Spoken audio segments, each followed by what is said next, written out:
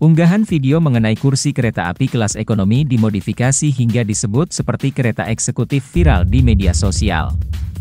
Unggahan tersebut salah satunya diunggah oleh akun TikTok Iqbal1299. Dalam video tersebut, tampak kursi kereta ekonomi tak lagi tegak 90 derajat. Kursi ekonomi terbaru kini berwarna biru dan mirip dengan kursi kereta eksekutif. Selain itu, tampak kursi bisa diputar 360 derajat sehingga menghadap jendela. Meski sudah berganti, tampak kemiringannya seperti lebih turun dibanding dengan kereta ekonomi. Terkait unggahan tersebut, Vice President Public Relations PT Kereta Api Indonesia, Johnny Martinus, menjelaskan, KAI saat ini memang tengah melakukan modifikasi interior kereta beserta kursinya di Balai Yasa Manggarai.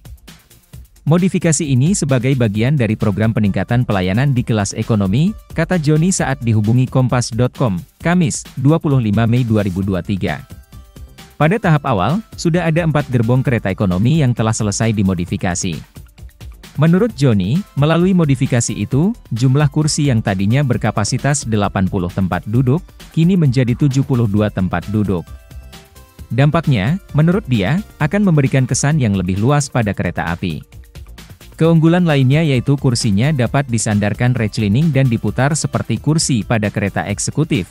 Terangnya, menurut Joni, turut ditambahkan Public Information Display System, PIDS, yang dapat menampilkan jam dan suhu.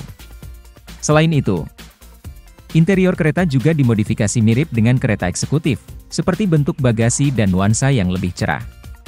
Tak hanya itu, modifikasi juga dilakukan pada toilet dengan nuansa yang lebih mewah dan menggunakan toilet duduk, paparnya. Adapun untuk operasionalnya, KAI masih melakukan kajian untuk menentukan dengan kereta apa akan dirangkaikan dan waktunya. Yang pasti dalam waktu dekat pelanggan kereta ekonomi akan merasakan pengalaman yang berbeda, dan mendapatkan kenyamanan lebih, ujar Joni.